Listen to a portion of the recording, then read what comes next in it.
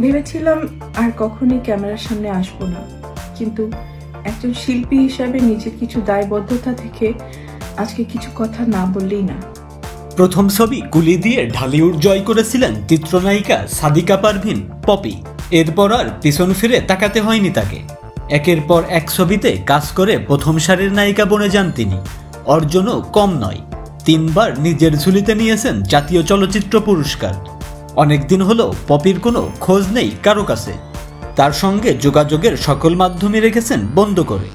কিন্তু লাস্ট সময়ে এ অভিনেত্রীকে অনুরাগীরাও আজও খুঁজে বেড়ান তার খোঁজ জানতে চান, তবে পপি কোথায় আছেন, কেমন আছেন, অনেকেরই অজানা।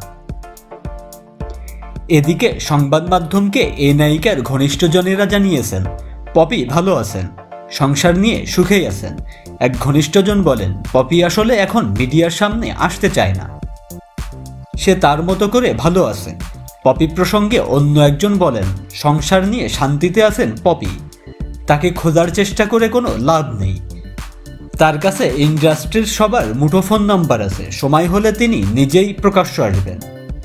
এ প্রসঙ্গে পপির আরও এক ঘনিষ্ঠজন বলেন, আমার সঙ্গে তার হঠাৎ কথা হয়, কিন্তু কি করছে, কোথায় আছে, এসবের কিছুই জানতে চায় না।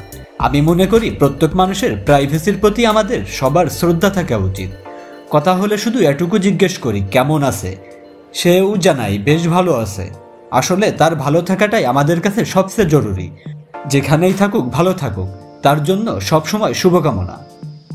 দীর্ঘদিন হলো আড়ালে আছেন পপি, তবে গত শিল্পী সমিতি নির্বাচনের সময় এক ভিডিও বার্তা দিয়েছিলেন তিনি। ওই ভিডিওতে ইলিয়াস কাঞ্চন নিপুণ প্যানেলের জন্য ভোট চেয়েছিলেন শিল্পীদের কাছে।